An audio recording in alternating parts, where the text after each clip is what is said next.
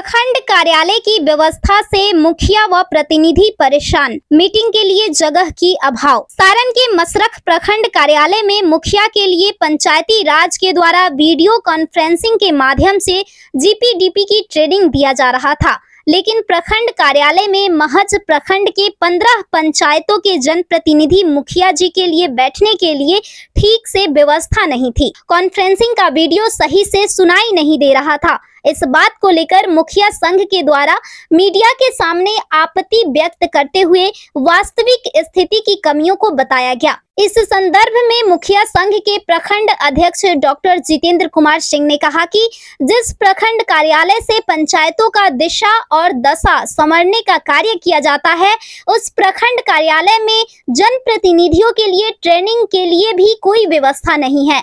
ना ही जनप्रतिनिधि के लिए शौचालय की व्यवस्था है, ना ही जल की और ना ही यूनिरल की। बहरौली पंचायत के मुखिया अजित सिंह ने कहा कि अगर जो भी समस्या मुखिया संघ के अध्यक्ष के द्वारा बताया गया है, वह सभी समस्या ज्यों की त्यों बनी हुई है।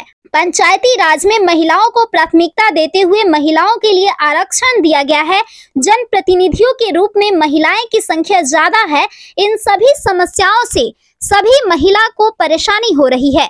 अगर 60 दिन के अंदर शौचालय नल जल यूनिरल की व्यवस्था नहीं की गई तो मुखिया संघ के तत्वाधान में धरना प्रदर्शन किया जाएगा। इस संबंध में प्रखंड विकास पदाधिकारी मोहम्मद आसिफ ने बताया कि इस समस्या से जल्द से जल्द निजात दिलाई जाएगी। यह कार्य प्रोसेस में है।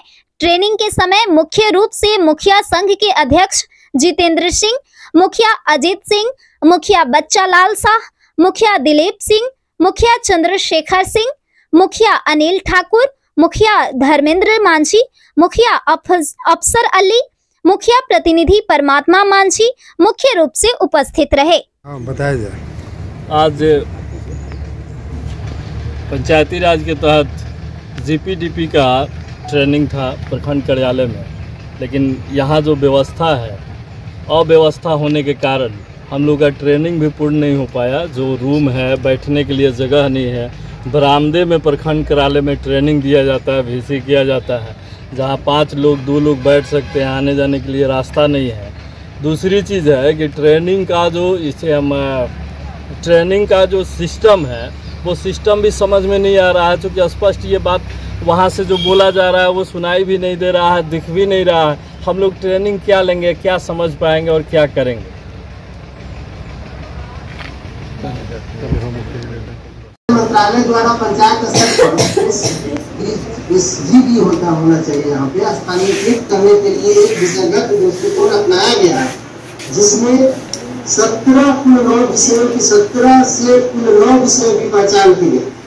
और तो मैंने पहले बतला चुका हूँ कि गरीबी मुक्त होना चाहिए, गाँव स्वस्थ गाँव होना चाहिए, बाल हितैषी गाँव होना चाहिए, जल पर्याप्त गाँव होना चाहिए। और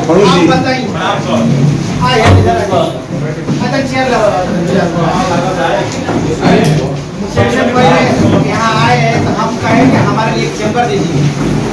चेम्बर देते से अनुरोध करने की के। के क्या करेंगे? अनुरोध करेंगे एक मिला है, जिसमें पच्चीस से तीस आदमी, कितना भाई, कितना? माने इक्कीस लाख रुपया का हम लोगों का, जिसमें कि कम से कम तीस चालीस आदमी हम लोग बैठ सकते हैं।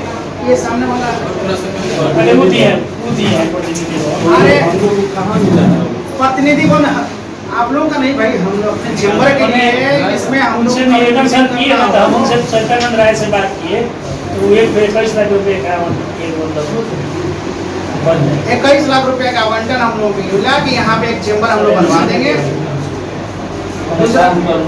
अभी जो प्रतिनिधि भवन बना हुआ है हाँ। इसके जिम्मे।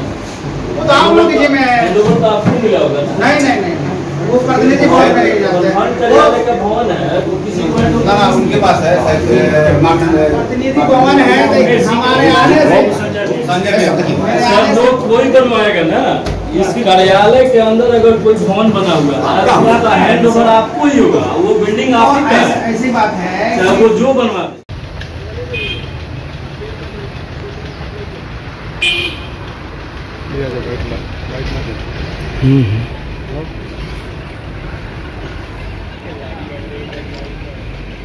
जुड़ो दीक्षांत से करो फ्री खुद को स्ट्रेस से। गूगल प्ले स्टोर से दीक्षांत ऐप डाउनलोड कर अपने स्टडी को बनाओ आसान और मज़ेदार। दीक्षांत देता है topic wise video with animated visuals and concept the study materials